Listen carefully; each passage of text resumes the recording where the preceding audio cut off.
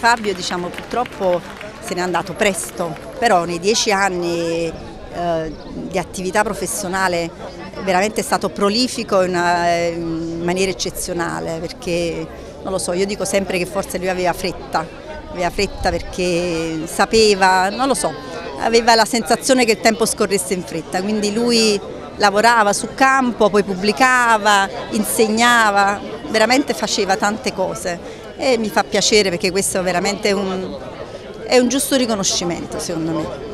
Archeologo subacqueo, vittima del dovere. Così la città da oggi ricorda Fabio Maniscalco, intitolandogli un largo nel quartiere Coglia Minei dove abitava. Grande specialista della tutela e della salvaguardia dei beni culturali, pioniere del settore grazie al lavoro di monitoraggio del patrimonio culturale, in particolare in Bosnia ed Erzegovina, dove recuperò materiali archeologici rubati, insignito con numerosi premi e riconoscimenti nel mondo, autore di pubblicazioni scientifiche all'avanguardia e proposto per la candidatura al premio Nobel per la pace nel 2007, Fabio Maniscalco morì a 42 anni per una forma rara di cancro dovuta all'esposizione ai metalli pesanti e all'uranio impoverito durante le sue missioni. Mentre fu mandato dallo Stato nel conflitto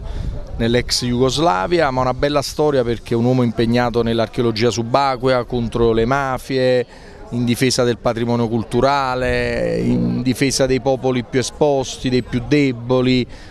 una storia napoletana, ma è anche un monito per dire basta le guerre e anche a chi manda i ragazzi del nostro paese allo sbaraglio e in contesti dove poi può trovare la morte anche per la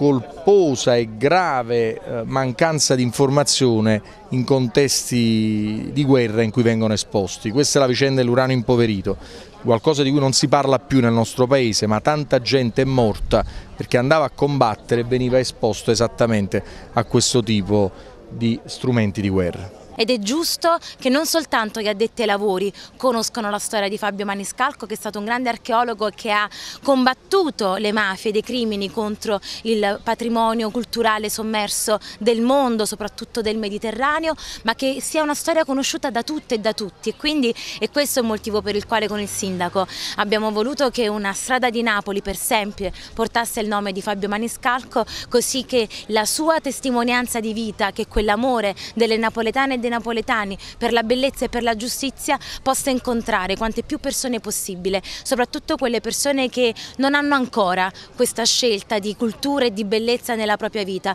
e dico apposta non ancora perché il nostro compito con un impegno alimentato di una memoria così viva e positiva, con un impegno arrivare soprattutto a quelle persone.